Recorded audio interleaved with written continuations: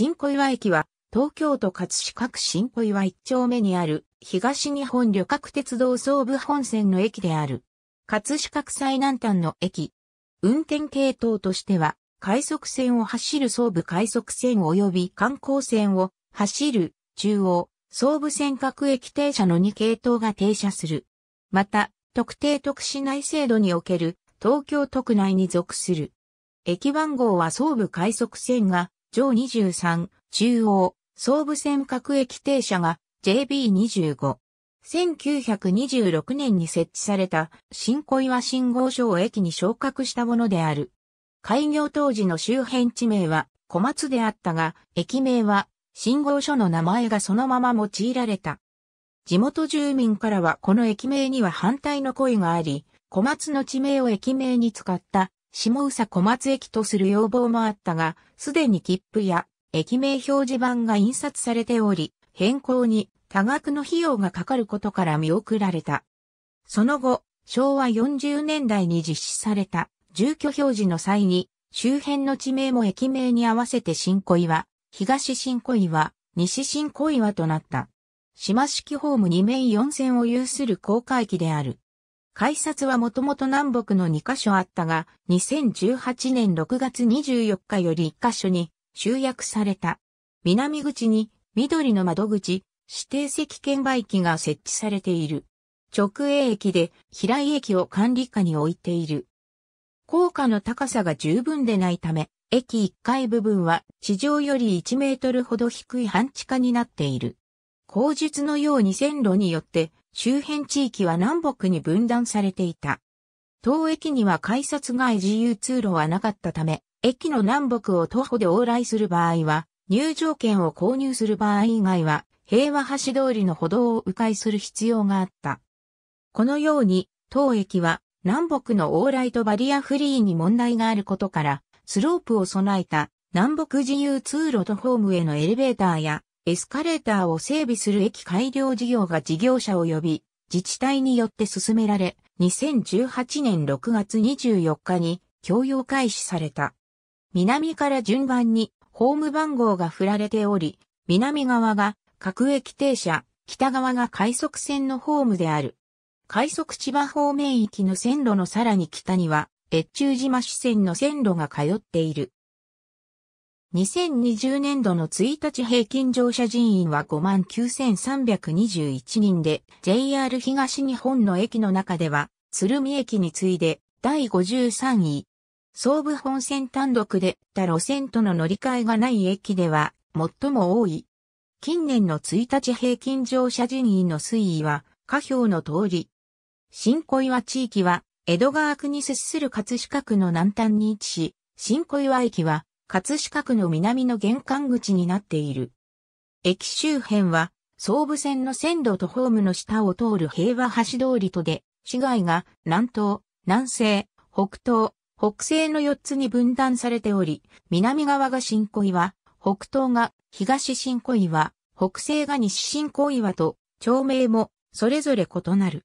駅の南口は南西、北口は北西地域に北口と連絡通路、スカイデッキ辰巳でつながる東北広場は北東地域に位置する。駅前ロータリーを挟んで正面に位置するルミエール商店街を中心に繁華街が広がる。市街地は江戸川区松島と連続している。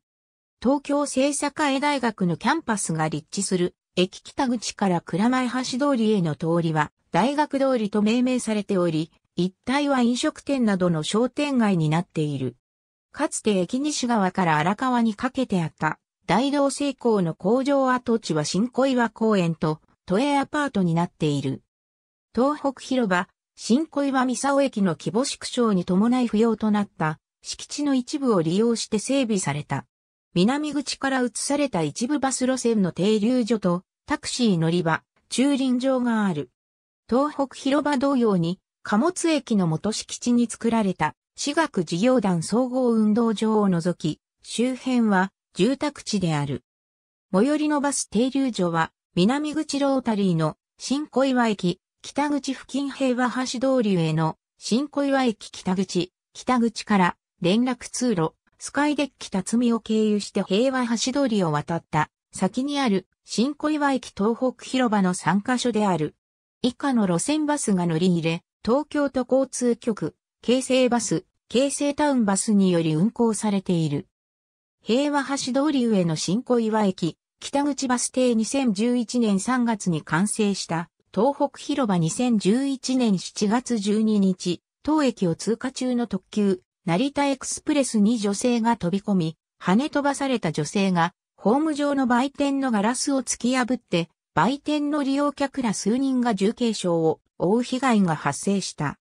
さらにその翌日にも人身事故が発生し、これらが大きく報道されて、以降自殺の名所として広まり人身事故が急増した。上記の事故から1年足らずで11件の事故が相次いだ。こうした状況に対し、葛飾区議会が平成24年第2回定例会で JR 新小岩駅へのホームドアの優先的設置を求める意見書を全会一致で可決するなど、ホームドア設置への要望が高まった。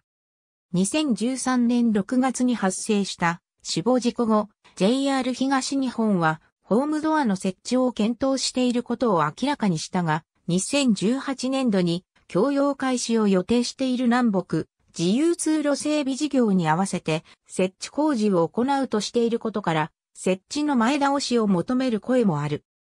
葛飾区議会は2012年6月27日の意見書決議以降も3件の死亡事故が発生しているとして、平成25年第3回定例会において、JR 東日本新小岩駅に早急にホームドアの設置を求める意見書をやはり全会一致で可決している。さらに総武快速線の隣駅である市川駅が所在する市川市議会においても平成26年6月定例会で JR 新小岩駅にホームドアの設置を求める意見書が賛成多数で可決されている。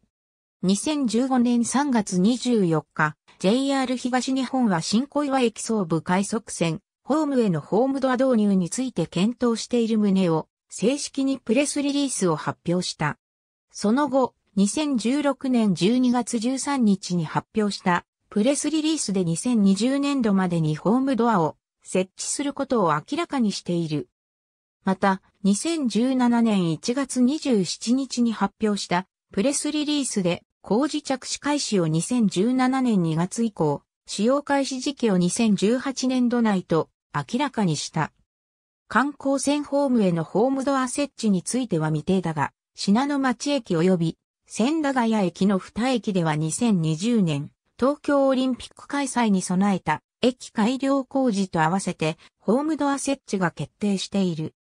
2018年6月29日、JR 東日本千葉支社が総武快速線ホームに設置工事を進めていたホームドアを同年10月下旬に使用開始予定であると発表されたが、同年10月24日に無線通信方式の送受信機器の調整に時間がかかることが判明したため延期され、同年12月8日に使用開始された。